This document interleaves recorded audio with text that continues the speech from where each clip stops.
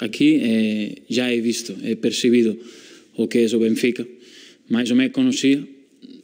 Eu vengo de um clube grande também, eu sei, eu levava muito tempo no Barcelona, mas o sentimento é o mesmo. Uh, incluso posso dizer que a gente é mais apaixonada.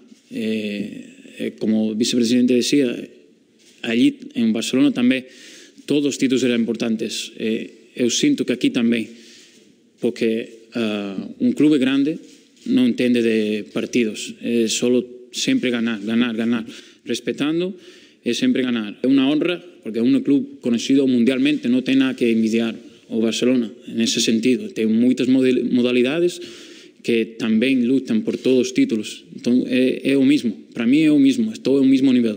Entón, é fácil a decisión. Eu sou un fixo, é eh, evidente, creo que agora mesmo non, non hai moitos, uh, mas eu non sou un fixo grande, pesado, uh, para pegar. Eu sou un fixo, me gusta xogar con a cabeza tamén.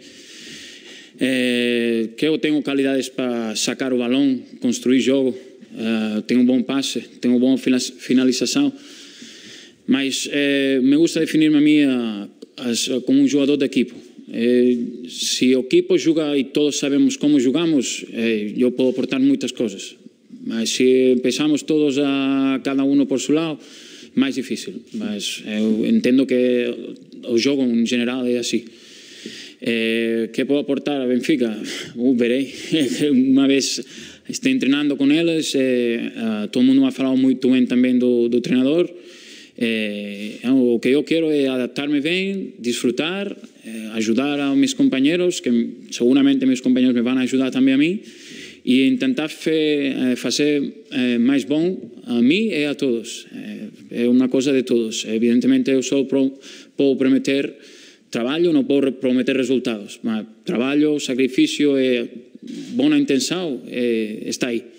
Estou muito, muito surpreendido, e eh, não surpreendido porque pensaba que, que era una cosa diferente, sino sorpre sorprendido porque es lo mismo, es lo que falaba antes eh, con vosotros.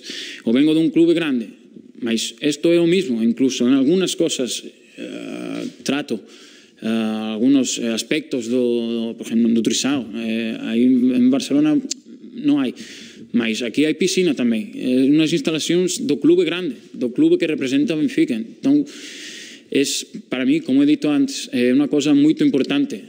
Para mí, a estrutura do club, as instalacións, uh, o equipo, a gente, tamén he percibido a pasión da gente, as ganas de, de ajudar o atleta para que o atleta ajude o club. Entón, para mí es, eh, es sorprendido porque de lo bien. Eh, no quiero entender, ¿me entiendes? Eh, estoy sorprendido porque es lo que esperaba e, e, Então, é, para mim é perfeito.